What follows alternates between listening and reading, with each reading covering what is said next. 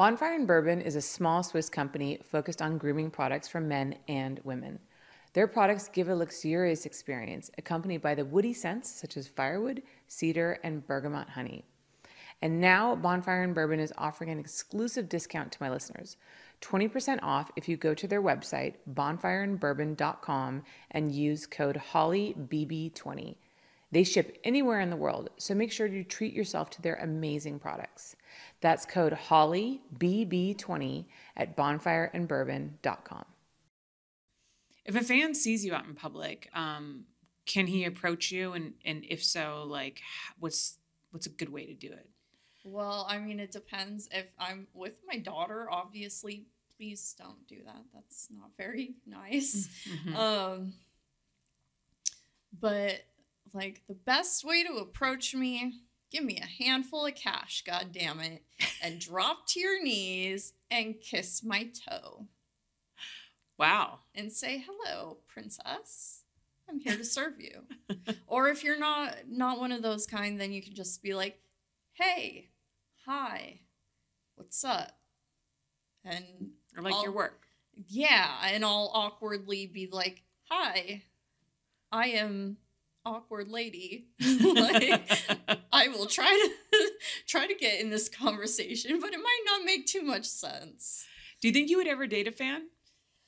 Man, you know what? I wanted to say no before, Mm-hmm. and I think I might I might still say no, but like the one time that I gave like a fan a chance, he fucking fucked it up. Hmm. Like you are not about to sit here and like be all awesome for a month and then all of a sudden like become inconsistent and Mhm. expect me to stick around for that. Like Mhm. nah. Like What- I'm good on that. What was the change?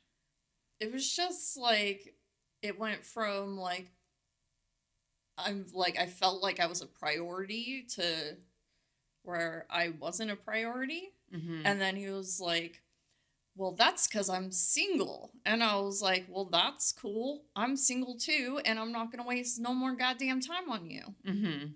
Because obviously you're showing me, like, I don't know what your agenda was, but it obviously wasn't a relationship eventually. Yeah. Not like right now, but it, like eventually. I think that's something that should be worked towards. Yeah.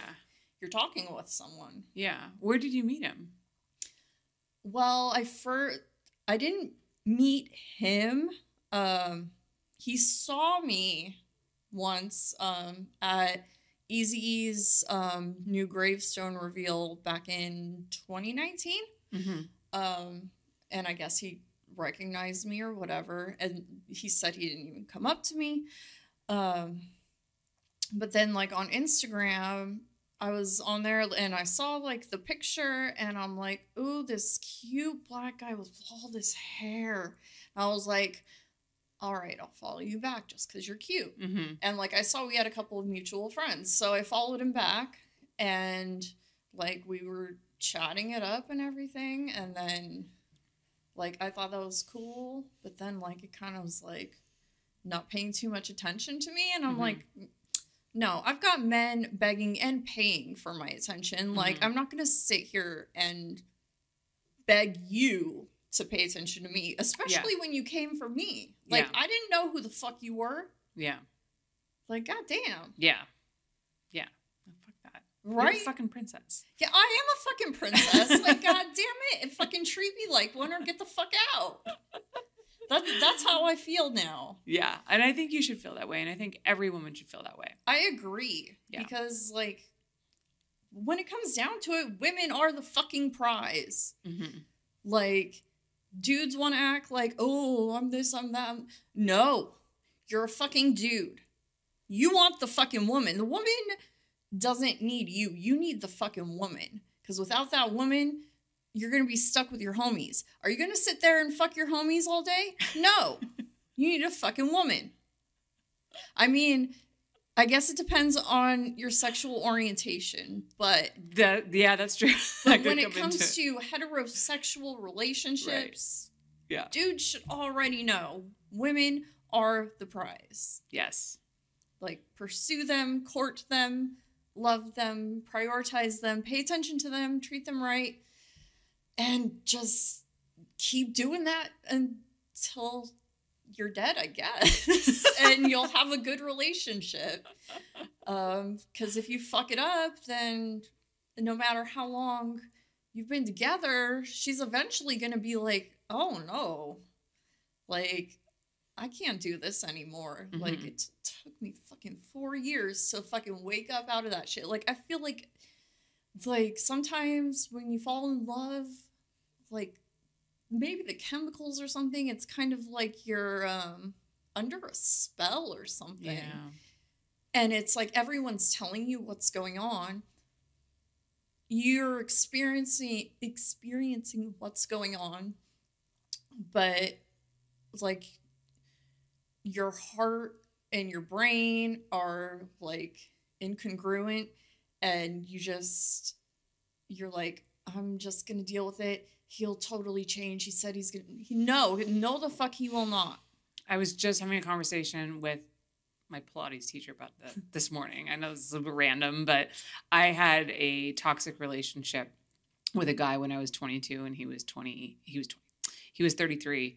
Uh, Ironically, he was uh, high up at Wicked at the time. He's no longer in the industry, so and none of you guys would know him, so don't try to guess. No, it's not fucking Brad Armstrong. Um, Is but steve no, it's not Steve. But uh yeah, and I mean the way that I let him treat me, like I look back at it and I'm just like, what was I thinking? Right? Like what was I thinking? It's just so insane. And I bought all of his bullshit and he was totally cheating on me the entire time, lying to me. And I just and yeah, that whole thing, I was like, I can change him. You know, I'm like fucking 22. Like I don't know shit. I can change him. He'll be different for me. And I just like, what, you know, and, but I'm glad I had that relationship because I feel like it really, it helped me understand what I don't want. You know, Exactly, like now I know, like, I'll never let anyone treat me like that ever again. absolutely like i feel feel you 100 million percent on Yeah. that one like it's it's sad that like sometimes we have to go through these things but you know when you're kind of a hard-headed woman hmm the universe is going to throw you some crazy shit Yeah. because they're you're not going to learn any Yeah. other way Yeah. unless if it's like okay this is some crazy shit And you know what I find too? I find that the universe continues to present you with the same problems until, Until- you, yes. yes, until like you get over whatever character defect it is that like you need to work on. You will keep encountering the same issues, like the same toxic people or like the same situations. So I absolutely, fucking absolutely yeah. Do you believe in the law of attraction? Yes, very much so. Yeah, I agree. Bonfire and Bourbon is a small Swiss company focused on grooming products for men and women. Their products give a luxurious experience, accompanied by the woody scents such as firewood, cedar, and bergamot honey. And now Bonfire and Bourbon is offering an exclusive discount to my listeners 20% off if you go to their website, bonfireandbourbon.com, and use code HOLLYBB20. They ship anywhere in the world, so make sure to treat yourself to their amazing products. That's code HOLLYBB20 at bonfireandbourbon.com.